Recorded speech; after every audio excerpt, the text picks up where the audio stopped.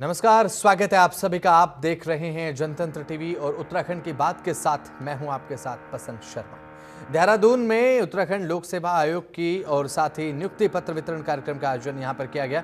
इस दौरान मुख्यमंत्री पुष्कर सिंह धामी ने अधिशासी अधिकारी व कर और साथ ही राजस्व निरीक्षकों को नियुक्ति पत्र यहाँ पर वितरित किए। ये कार्यक्रम मुख्यमंत्री कैंप कार्यालय के मुख्य सेवक सदन में आयोजित रहा। इस दौरान मुख्यमंत्री पुष्कर सिंह धामी ने दीप प्रज्वलित कर कार्यक्रम का शुभारंभ किया। महत्वपूर्ण दिन क्योंकि आज उच्च शिक्षा विभाग में असिस्टेंट प्रोफेसरों के रूप में अड़सठ नए सदस्यों की नियुक्ति हो रही है। और जैसा धनसिंह जी ने बताया कि इसके बाद 400 से भी ज़्यादा और भी जो है हमारे अभ्यर्थियों को इसमें नियुक्ति मिलने वाली है। मैं आज आप सभी के उज्जवल भविष्य की कामना करता हूँ और आप सभी जो ज़िम्मेदारी आप सबको मिली है, उसका निर्वहन बहुत ही ईमानदारी से करेंगे और उत्तराखंड को एक उज्जवल, बेहतर एवं आदर्श राज्य बनाने के लिए काम करेंगे। वो दिन आज आपका आ गया, जिसमें आपकी मेहनत, आपका, आपकी लगन, आपकी शिक्षा, आपके अभिभावकों के माता पिता के आशीर्वाद से, गुरुजनों के आशीर्वाद से, बड़ों के आशीर्वाद से और भगवान की कृपा से आज आप सबको आज इस सौभाग्य का दिन प्राप्त हुआ है। उत्तराखंड सरकार इस समय चर्चाओं में है, कारण है अग्निवीर योजना। दरअसल उत्तराखंड के मुख्यमंत्री पुष्कर सिंह धामी ने राज्य सेवाओं में अग्निवीरों को आरक्षण देने की घोषणा की है। इस पर एक खास रिपोर्ट आपको दिखाते हैं।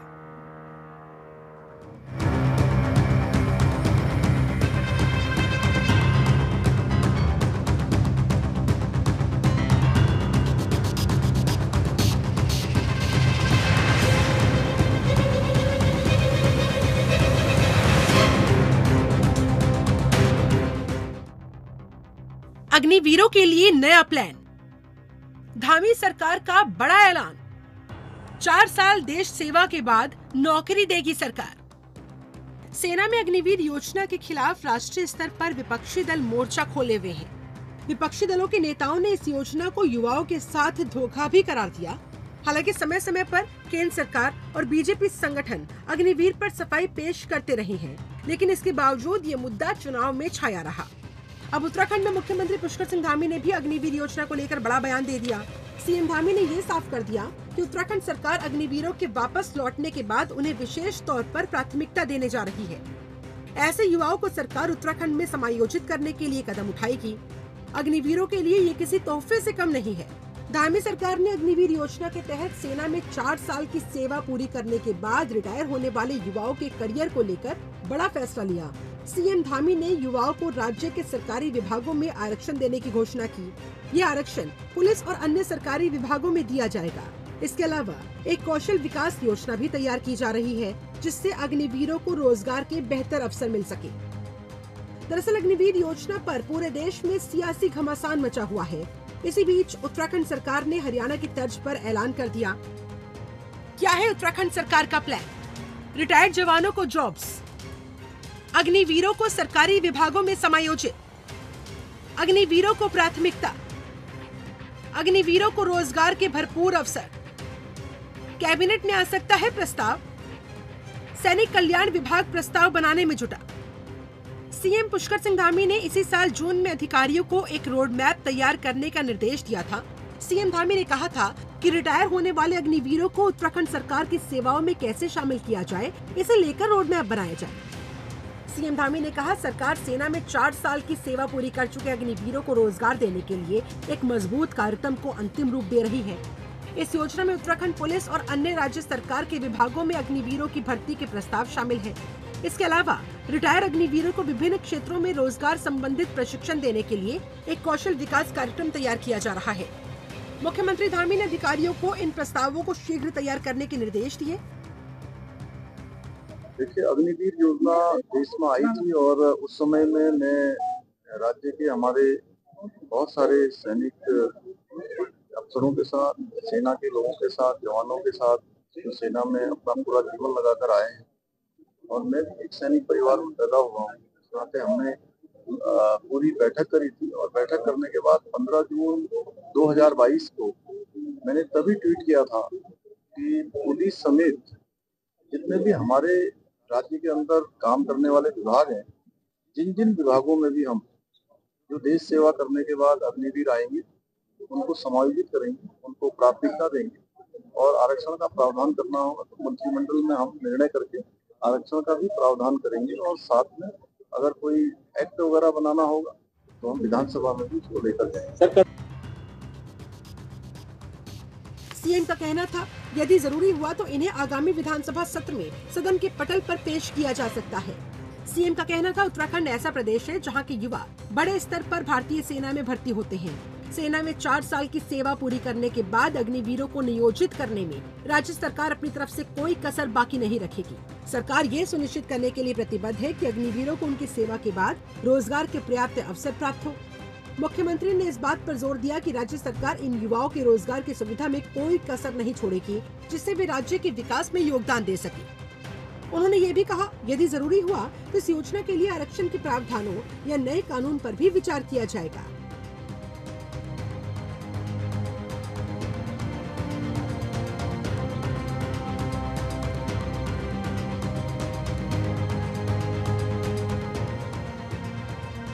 दो हज़ार बाईस में लॉन्च हुई थी योजना। 2022 में केंद्र सरकार ने सशस्त्र बलों को दक्ष बनाने और रक्षा पेंशन बिल को कम करने के लिए अग्निपथ योजना लॉन्च की थी। इस योजना के तहत सेना, नौसेना और वायुसेना में चार साल के अल्पकालिक अनुबंध पर कर्मियों की भर्ती की जाती है। कुल वार्षिक भर्ती में से सिर्फ़ 25 फ़ीसदी को स्थायी कमीशन के तहत अगले 15 सालों तक बने रहने की अनुमति दी जाती है। इस योजना का पूरे देश में विरोध हुआ। आंदोलनकारियों ने कहा, चार साल के बाद सेवा छोड़ने वालों का करियर खराब हो जाएगा, जिस पर अब राज्य सरकारें अग्निवीरों के लिए आगे की प्लानिंग पर काम कर रही है। Bureau report, Janatantra TV.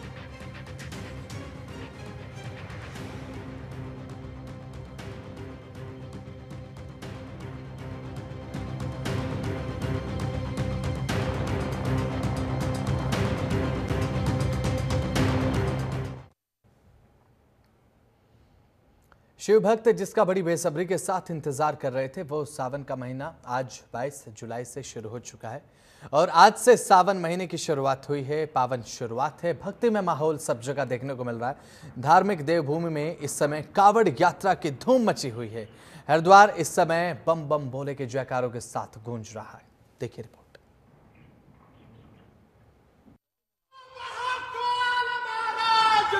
सावन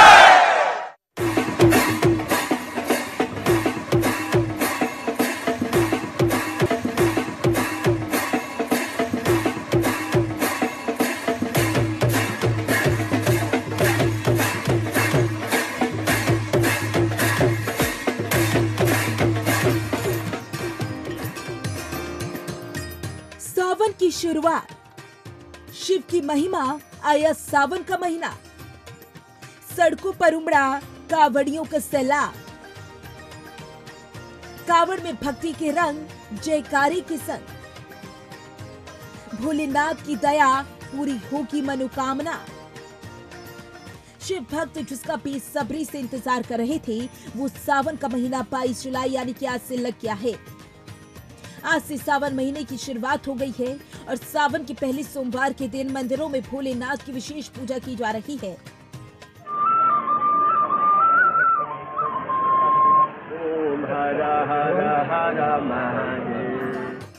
सावन महीने की शुरुआत सोमवार से हुई है। ऐसे में आज के दिन शिव जी की पूजा के लिए बेहद शुभ माना जा रहा है। सुंदरी है और हर सावन में यहाँ पर मान्यता है कि शिव भोले शिव यहीं विराजमान रहते हैं पूरे सावन। पूरी आस्था के साथ आते हैं? पूरे आस्था के साथ आते हैं। हर सावन आता हूँ मैं। हर साल आते हैं हर साल आता हूँ।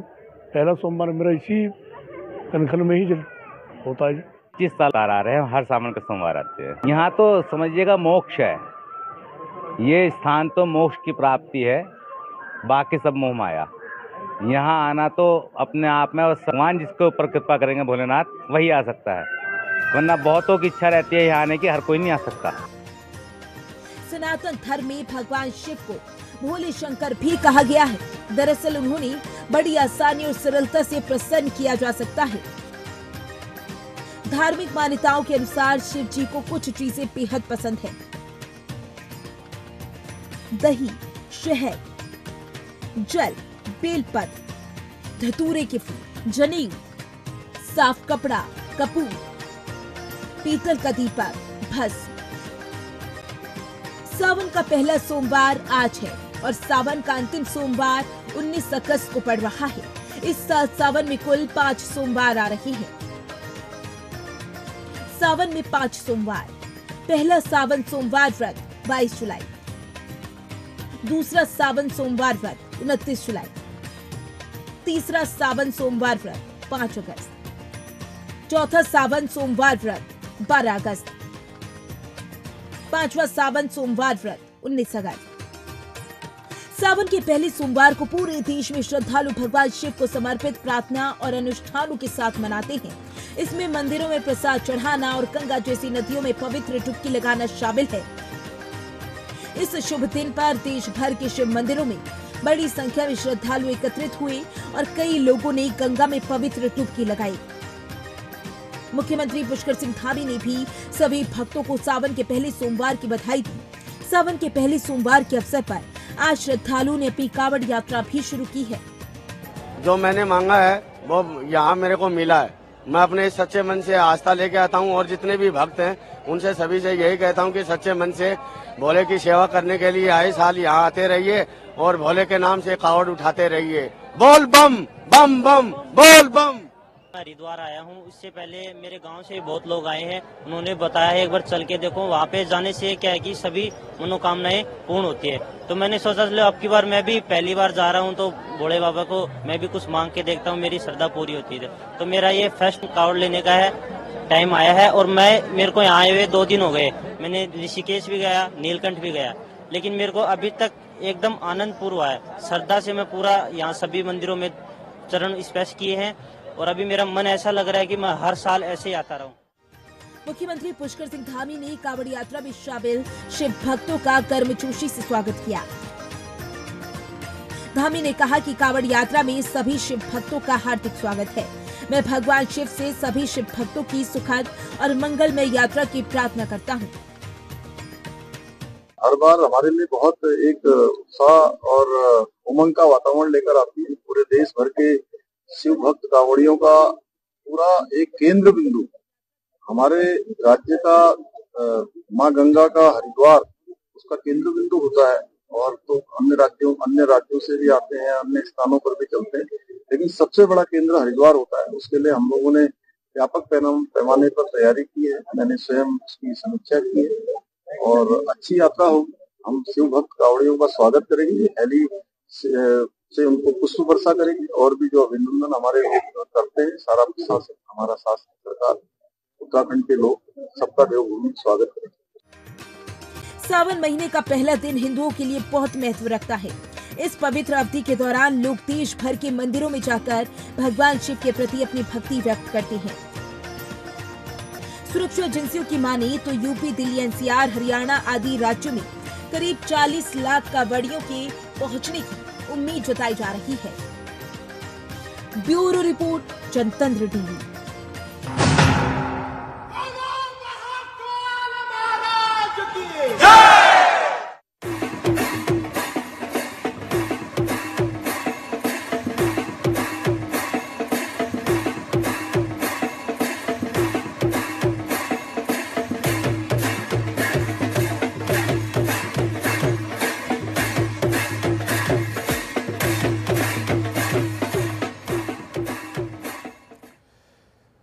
Uttarakhand में पिछले 24 घंटे से मूसलाधार बारिश लगातार जारी है। खासकर कुमाऊं मंडल की अगर बात करें तो कुमाऊं मंडल में अब बारिश का ज़ोर ज़्यादा देखने को मिल रहा है। देहरादून और हरिद्वार में भी बारिश से जनजीवन पूरे तरीके से अस्त व्यस्त हो चुका है। मौसम विभाग का कहना है कि अगले पूरे हफ़्ते में ज़्यादातर जिलों में बारिश की जो एक्टिविटी है, वो ज़्यादा देखने को मिलेगी। इस पर एक रिपोर्ट हमने तैयार की है। कहाँ कहाँ कितनी बारिश कब कब होगी, इस रिपोर्ट में देखिए।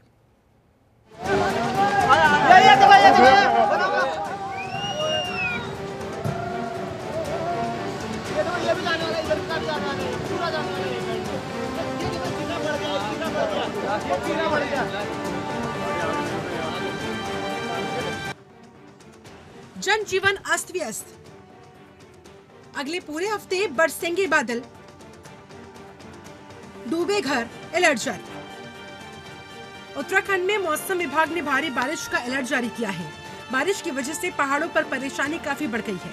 मौसम विभाग ने बारिश को देखते हुए लोगों से सतर्क रहने की अपील की। इसके साथ ही नदी नालों के पास जाने से बचने की चेतावनी भी दी है। बात करें अगर देहरादून समेत पौड़ी, चंपावत और नैनीताल ज़िले के कुछ हिस्सों की तो तेज गर्जना के साथ भारी बारिश का येलो अलर्ट भी जारी कर दिया गया। बीते 24 घंटे में प्रदेश के कुमायूं और गढ़वाल के अधिकतर जिलों में भारी बारिश देखने को मिल रही है। इधर देहरादून ज़िले के मोहकमपुर में सबसे तेज बारिश हुई। कुमायूं के ज़्यादातर क्षेत्रों में 125 एमएम बारिश दर्ज की गई। कुमायूं रीजन के बनबसा में आज भारी बारिश की वजह से अठानवे एमएम बारिश रिकॉर्ड की गई। उत्तराखंड के अमूमन जिलों में सुबह से ही तेज बारिश हो रही है। मैदानी इलाकों का हाल इस वक्त सबसे बुरा है। राजधानी देहरादून में सुबह हुई मूसलाधार बारिश की वजह से सड़कों तक पानी आ जाने से लोगों को भारी परेशानियों का सामना करना पड़ा। सड़कों के किनारे नालियाँ चौक होने पर निगम के कर्मचारियों ने चौक हुई नालियों को खुलवाया। यही हाल हरिद्वार का भी है, जहाँ बारिश ने सुबह से ही कांवड़ यात्रा पर असर डाला है। उत्तराखंड के अधिकतर जिलों में मौसम विभाग ने आज भी बारिश होने के आसार जताए थे। ये आसार सही साबित हुए हैं। मौसम विभाग ने बारिश की एक्टिविटी कम होने की वजह से कुमायूं रीजन के नैनीताल, चंपावत उधम सिंह नगर, पिथौरागढ़ और बागेश्वर के लिए रेड अलर्ट की जगह ऑरेंज अलर्ट जारी किया। तेईस तारीख को भी इन जिलों के लिए ऑरेंज अलर्ट जारी किया गया। बता दें, अगले पाँच से सात दिन प्रदेश के अधिकतर जिलों में बारिश की एक्टिविटी बनी रहेगी। कहा जा रहा है कि मानसून सिस्टम ऊपर की ओर शिफ्ट हो रहा है। इसीलिए उत्तराखंड में आने वाले दिनों में बारिश की लाइट टू मॉडरेट एक्टिविटी बनी रह सकती है। जनता